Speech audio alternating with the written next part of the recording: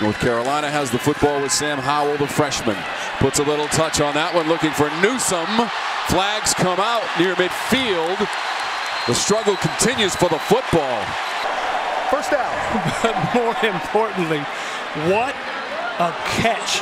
Dazz Newsome dropped one on the last series, and he wasn't letting go of this one. The coverage was there a little bit too much. If you snap the head around Alexander, you're going to have a chance. How about that for focus?